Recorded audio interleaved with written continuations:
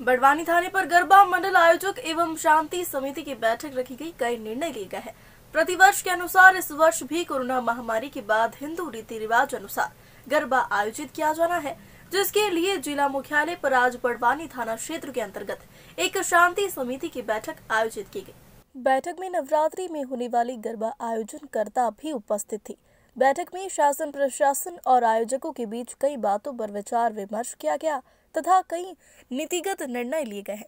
Barwani SDM Shri Ghanshyam Dhangar ने बताया कि आज भी आयोजकों को विशेष निर्देश दिए गए हैं। इस बैठक में रास रंग गरबा मंडल, स्वर संगम गरबा मंडल, माँ संतोषी माता गरबा मंडल न्यू श्री राम गरबा मंडल, वैष्णो देवी माता मंदिर गरबा मंडल, युवा शक्ति ओपन गरबा मंडल, युवा मित्र गरबा मंडल, श्री कृष्णा गरबा मंडल, नव्या मित्र मंडल, माँ नवरात्रि गरबा मंडल नवदुर्गा समिति और माँ कालिका माता मंदिर के सदस्य विशेष रूप से सभी उपस्थित रहे। इस बैठक में विशेष रूप से बड़वानी, श्री घनश्याम धनगर, तहसीलदार श्रीमती आशा परमार, मुख्य नगर पालिका अधिकारी श्री कुशल सिंह डोडवी, बड़वानी थाना प्रभारी श्री एस एस रघुवंशी सहित सारा स्टाफ मौजूद था।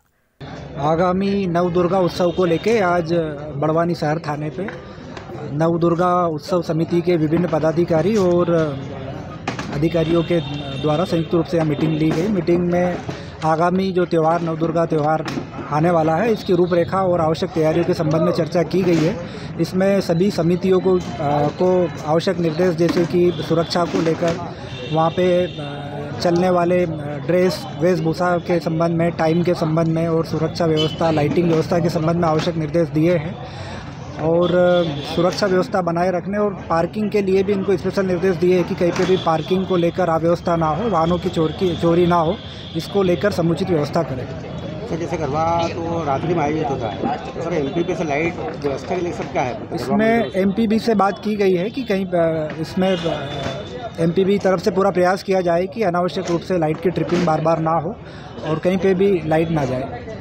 और सर वाहन पार्किंग के लिए विशेष वाहन पार्किंग के लिए भी अभी सभी सदस्यों से चर्चा की गई है तो सभी के लिए अलग अलग स्थान डिसाइड किया हुआ है वहाँ पे ये लोग वाहन पार्किंग की व्यवस्था करेंगे।